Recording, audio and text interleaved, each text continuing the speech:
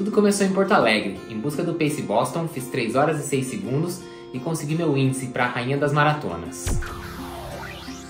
Pouco mais de 3 meses depois, fui para Berlim buscando um sub 3. Nem tudo saiu como planejado, mas pelo menos a primeira das 6 majors eu consegui completar. E agora vamos em busca da mandala. Uma semana depois, pelas ruas da capital inglesa, completei a maratona de Londres e consegui carimbar a segunda das medalhas da mandala. Agora é partiu Boston. Vamos fechar o que a gente começou lá em Porto Alegre, além do que garantir a terceira medalha da mandala da Six Stars. Vem com a gente para acompanhar.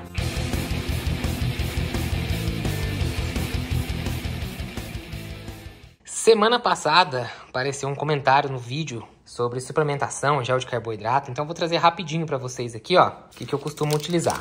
Bom, aqui parte de suplementação é whey e glutamina. Nenhum dos dois eu uso regularmente, nem de acordo com uma, como é eu digo, com uma dieta programada e tudo mais. Eu tenho whey em casa porque eu gosto e gosto de bater às vezes ele com fruta, leite, esse tipo de coisa. E a glutamina cai naquele negócio que alguns anos atrás ela era, nossa, um super suplemento. Hoje em dia talvez já não esteja mais tão em alta, mas eu ainda tenho aqui um resto, então eu tenho usado, mas nada nada assim, nada numa dieta. E aí barrinha de proteína, não uso na corrida, mas acho uma boa opção num lanchinho, às vezes quando tá fora de casa, não dá para comer um ovo, coisa assim, eu gosto de barrinha de proteína. Essas três particularmente eu gosto bastante. O Enio, quando eu fui com, pra Floripa correr, ele descobriu que eu sou sommelier de barrinha de proteína. Eu gosto de comprar diferentes, experimentar e ver quais as que eu mais gosto, as que eu não gosto e vou, e vou montando minha as que eu prefiro. Agora, quando eu falo mais um pouco de corrida, diretamente sobre corrida, falar rapidinho de isotônico. Eu acho esses isotônicos da Jungle, tem esse, o de uva também eu acho muito bom. O laranja eu não gosto muito. Eles são isotônicos naturais, os ingredientes deles são todos naturais. Então, por exemplo, esse aqui é morango e limão. Não tem adição de açúcar, nada artificial, de aroma, corante, nada disso. Eu gosto bastante. Às vezes eu uso no meio do treino, mas a grande maioria das vezes eu tomo depois, como reposição, principalmente nos treinos mais longos. E na prova, a única coisa, ou treinos, né, os mais importantes, a única coisa coisa que eu uso é gelzinho de carboidrato. Hoje em dia, as marcas que eu tenho usado com mais frequência são a Z2 e a Mombora. Sendo que a Z2 eu já conheço já faz mais tempo. Foi ela que eu usei para substituir os géis da Gu. Eu gostava muito dos géis da Gu, gosto ainda, acho bons géis, com bom sabor. Mas eu acho eles um pouco espessos demais. Eu acho o Z2, por eles serem mais líquidos, para atividade de corrida, eu acho eles mais fáceis de ingerir. Porque eles não, eles não exigem que você tome aquela água logo em seguida, para ele descer. Né? Claro que a água é boa para absorção do carboidrato, mas nesse caso aqui você consegue tomar ele mesmo que você não esteja colado num posto de hidratação e não fica desconfortável. Então eu acho eles mais palatáveis. Esses daqui são os sabores que eu mais gosto, principalmente o de caramelo salgado. Acho muito bom. E o legal do Z2 é que ele tem essas variações, né? Então, por exemplo, uns tem um pouco mais de sódio, esse aqui tem cafeína, esse aqui também tem cafeína. Então, eles têm algumas variações. Eu vou ser sincero que eu não sinto diferença dos que tem cafeína para os que não tem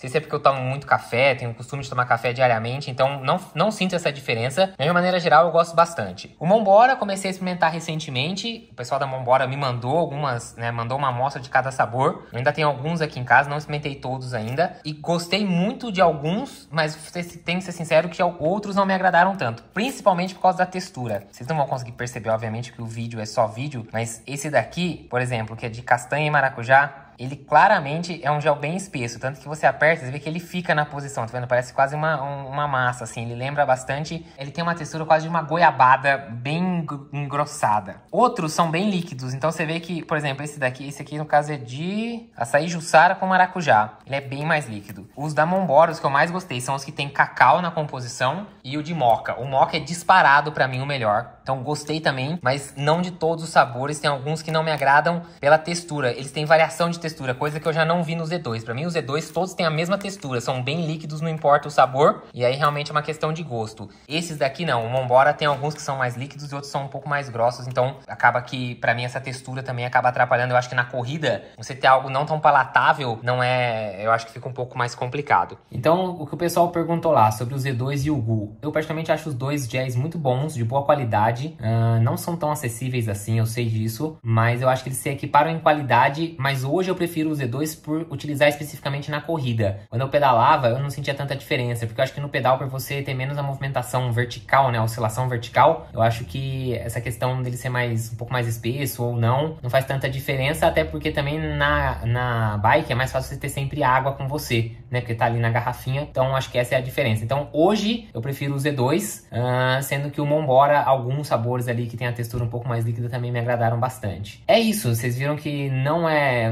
Hoje em dia não faço uso de palatinose, de betalanina, de nada dessas coisas. Já usei na época que fazia triatlon, hoje em dia não uso. Não sinto falta, talvez melhorasse alguma coisa, acho que sim. Mas é isso, eu, eu me adaptei, eu tô bem adaptado dessa forma. E pelo menos por enquanto não tenho pretensão de mudar o que eu venho fazendo com a parte de alimentação e suplementação. Beleza? É isso, se ficou mais alguma dúvida, quiserem saber mais alguma coisa, manda pra gente aí. Valeu! Bom dia, faz tempo que eu não falo daqui direto do cafezinho pré-longão de sábado. Bora para 25 km hoje, caindo um pouquinho a quilometragem do longão. Vamos pegar três vezes as subidinhas. Hoje focar um pouquinho mais nas, nas variações de altimetria. Preparando tudo aqui, 5 e 15 da manhã, tentando fugir um pouquinho do calor. Daqui a pouco vamos embora, vamos estar tá na rua correndo.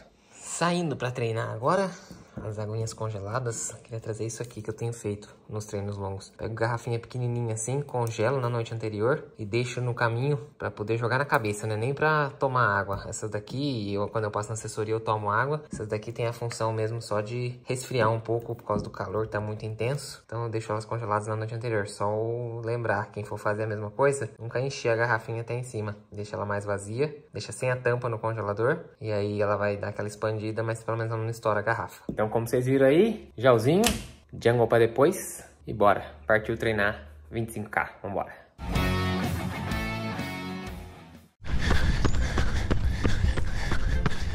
Terço final de treino. Estamos aqui com 18,600. Fazendo volta de 8 km. Depois pagar o que vai faltar lá embaixo. Na assessoria. O clima hoje deu uma ajudada. Embora seja muito úmido, não tem sol, não ajuda. Tentando manter um ritmado. Claro, só perde nas subidas. Mas vambora. Essa é a ideia. Fechou o treino. O longão de 25 foi.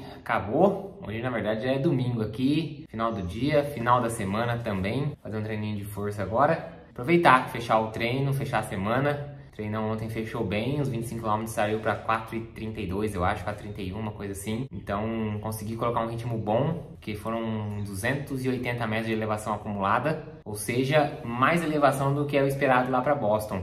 Que obviamente concentrado em 25 km, lá são 42. Então a ideia de colocar bastante subida, né, bastante variação altimétrica durante o treino de ontem, fazer ele em todo como um ritmo quase que de prova, vamos dizer assim, mas um ritmo mais, né, um treino mais ritmado, deu certo, saiu bom. A gente vai chegando cada vez mais perto da prova, aí você vê que os treinos vão ficando inteiros, praticamente em, em ritmo, né, no mesmo ritmo, porque vai ficando cada vez mais específico. Então, embora tenha caído um pouco a distância total do treino, semana passada tinha feito 30, esse fiz 25, mas com uma pegada um pouco diferente e com mais subida ainda. Então, acho que a preparação está indo bem. Vamos trazer também um pouquinho sobre isso nas próximas semanas aí, conversar um pouquinho com o PC, trazer um pouquinho disso, que era o plano e como que a gente está até agora. Então foi isso, essa foi a semana, de novo batendo aí perto dos 70 quilômetros, o longo bastante focado no, na variação altimétrica. Seguimos essa semana, agora que está entrando, devemos ter um longo aí passando dos 30 quilômetros, esperar chegar a planilha para dar uma olhada, mas já foi isso que a gente deu uma adiantada com o PC. Estamos na reta final, agora são 5 semanas até Boston, ficar mais fácil não vai. Então, se você gostou, deixa eu curtir, compartilha, comenta. O pessoal que tinha perguntado sobre suplementação na semana passada, tá aí o conteúdo. Se tiverem outros temas que quiserem que a gente aborde por aqui, não esquece de deixar o comentário, beleza? Valeu e até semana que vem. Fui!